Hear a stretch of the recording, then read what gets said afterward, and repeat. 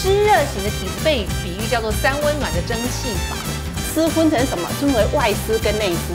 所谓外湿呢，晚上的话你开空调，那你窗户又打开，外面的湿气也会进来。